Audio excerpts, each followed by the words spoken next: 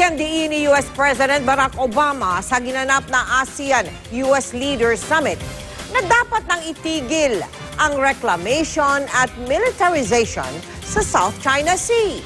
Hinimok din ni Obama na sundin ng Pilipinas at China ang anumang maging desisyon ng United Nations Arbitral Tribunal.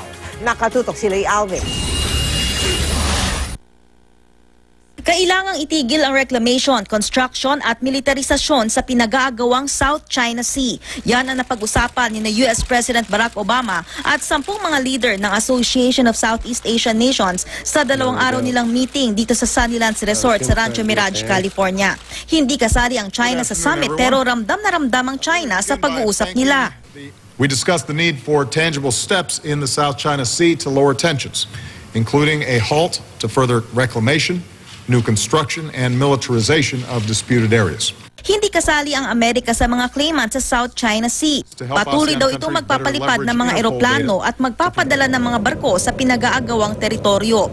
Interes daw nila ang malayang paglalayag ng mga barko at paglipad ng mga eroplano doon. I reiterated that the United States will continue to fly, sail, and operate wherever international law allows, and we will support the right of all countries to do the same.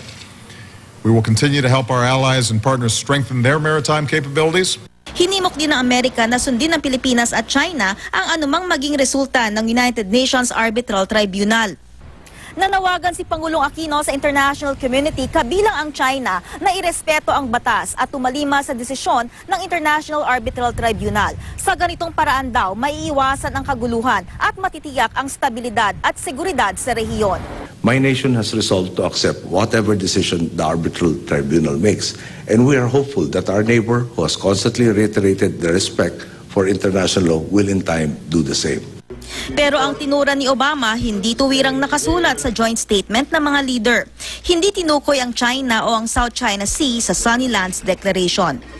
Mula rito sa California, Leigh Alves, Nakatutok, 24 Oras.